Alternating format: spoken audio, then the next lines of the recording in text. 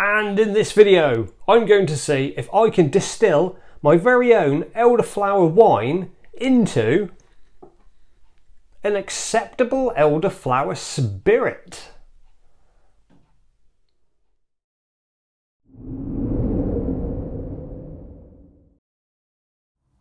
So first of all I need to make an exceptionally simple wine and here you can see I'm just literally snipping off the flower heads from the stalks and as I need this to be reasonably flavoursome I'm going to use around one litre of lightly compressed flower heads. Next I heat up one and a half litres of water and add to this 1.2 kilos of sugar and stir it in until it's dissolved. I then add the flowers into a fermenting bucket uh, along with the syrup and also a tea bag uh, just for the tannin. And that's about it for the minute. I'll cover this over and leave it to steep for about 5 to 10 minutes. So I can now fish out the tea bag and add in 3 litres of cold water. I'll then also add in 1 teaspoon of yeast nutrient and 1 teaspoon of a wine yeast. And then after a quick stirring up, I'll loosely cover this and leave this in a warm place for around 5 days to make sure it starts its fermentation. And after that time's passed, it was just a case of straining the liquid off into a clean demijohn and then popping an airlock in the top and leaving this to fully ferment. I do have two demijohns here because I did make two batches of wine because I need around 10 litres. Once it had finished fermenting, it was just a case of racking the wine off into a clean demijohn and then degassing it, adding some finings in and leaving it to completely clear. So then it was a simple case of siphoning the wine out of the demijohns into the kettle of the still and I've ended up with just under 10 litres of a 12% wine. Hmm. Okay, so I am set up and pretty much ready to go. I've got my um, cold water circulation bucket here that I will be filling up in a minute. Um, the kettle is charged and set up in a pot still mode. Now yes, I do have uh, one little section in here. Um, it's a three inch column. This, this section is about half a metre tall. I don't necessarily need this section by any stretch of the imagination. Um, it's just there because I like to see what's going on really. So this is the kind of setup I'm going with today and there's the condenser at the end. So I've got my collection point here and my homemade SCR unit here there we are. So, let's get going.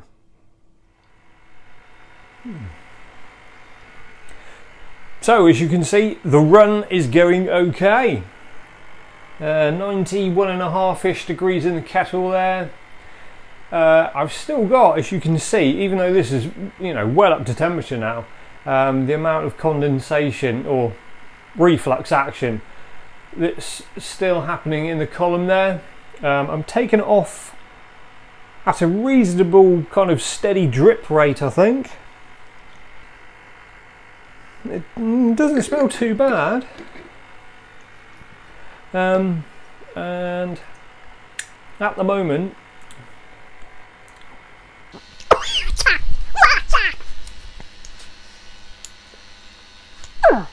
unlike my dance moves, this is possibly showing some good potential. Wow. Let me crack on, do the rest of the cuts, and then I'll be back later to see if this really does pan out to be quite a good drink.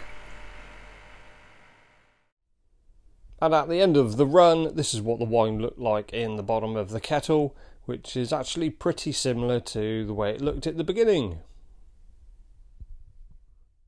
Yay! And here I am back with all of my little cuts from that distillation run. Now, 50 mil of the foreshots uh, at the beginning of the run was uh, taken away and discarded. and the rest of it was just collected in the jars in a 100 mil intervals. Starting with jar number one um, and two and possibly three, I was expecting to get quite a bit of headsy smell. Um, and it's not that prominent, to be honest. But just out of best practice, I think I will discard the first 200 mil of collections, just assuming there is um, some, you know, tainted esters in there that I don't want. Uh, I'm not being too finicky because um, the rest of it, as it goes down, smells okay. I haven't really tasted much of it. Um, and I did collect right down until 30% ABV. Now, you can do, you can collect and stop at whatever point you want to. Um, 30 is a little bit low for me, um, and I was expecting to get quite a few tails coming through at the end. Um, there is some, but again, without being too anal about all this, um, I'm going to chuck in all of the, the tails as well because they do, you know, it, it seems to blend in quite well uh, with this kind of flavour, I think. So if I disregard the first 200 ml out of the way, that leaves me now, from that 10 litres of wine, it now leaves me with 1.3 litres of a high ABV spirit. Mm. now, you were expecting me to water this down and then taste it and come back and go, mm, yeah, it's okay. Um, I probably will do that, but my plan of action now, um, and you do know I like to mess around with this and completely mess it up, I'm going to stick all of these cuts together. Then I'm going to divide them into three, see what the ABV is, and then well, my plan and it ain't gonna work, but I'm gonna do it anyway. The first third is going to be back sweetened with a syrup, only because I know this is quite a delicate flavour. Um, and just watering it down will make it even worse, I think. So I need that sugar to bring it out a bit. So the first third is going to have some syrup in it. The second third is going to have uh, also some syrup added into it to all, you know, bring it down to somewhere around 35 40% ABV. Um, but I'm also going to add mm, some apple concentrate into that. Yum, yum, yum. Now, the last third, I'm also going to stick in some syrup, but I think I'm going to maybe chuck in a, a slither from a lemon. So I'll have plain apple and lemon elderflower uh, spirit. Right, that's that. Let's get on and do it and we'll come back and we'll see how badly I can mess this all up. Hey, so I'm back. Hey, and yeah, I've got my three bottles ready to go. Uh, the quantities worked out about 1.2 litres in total in the end. Uh, so it's quite handy that 400 mil went into each of these at uh, just over 60 odd percent, I think it was. Um, back sweeten them all with uh, a simple syrup, a ratio of one to one, so about 200 mil went in each of these as well, bringing the ABV down to um, somewhere around 40%. So let's go through and have a quick taste, shall we? First up, elderflower on its own. It doesn't smell of a great deal. There is a subtle floral hint to it, but let's give it a tasting. Cheers. Um, yeah, well, what am I getting from that? Oh, a bit of heartburn. Well, that does taste quite lively. Um, and that's quite interesting because oh, the initial taste on that wasn't that particularly um, brilliant, but there really is such a pleasant um, aftertaste of the elderflower constantly coming back through. it's worked. I'm happy with this one. That has got a definite thumbs up. So on to the elderflower and lemon.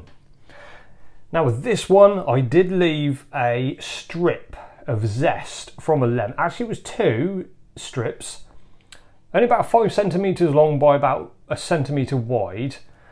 And two of those in here for two hours. Um, I might have slightly overcooked it, to be honest, because it does smell very lemony. Yes. But anyway, let's give it a taste, see what it's like. Cheers. Yes, yes, yes, yes. That's worked absolutely bob on again. Does the same thing again. It's it's slightly calmer than this one, I have to be fair, but the yeah, the aftertones, the after notes really come through. I think if I was to do this one again, yeah, I would use a minimal amount of lemon zest. A very small amount and literally just dunk it in like a tea bag for a few minutes and take it out. Um, but no, another bing thumbs up. So finally onto the elderflower and apple. Here we go. Ooh. No, something's not quite right with that one at all. Um, what, how much was I think it was about 25 mil of double concentrated apple juice went into this and I know it's quite potent. Uh, that's obviously been double concentrated. But mm, anyway, let's give it a taste. Cheers.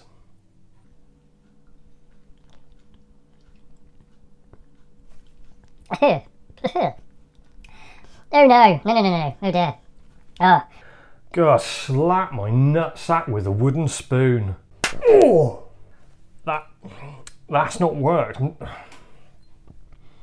I'm surprised. I thought that was going to be another winner. I'm not too keen on that at all, to be honest.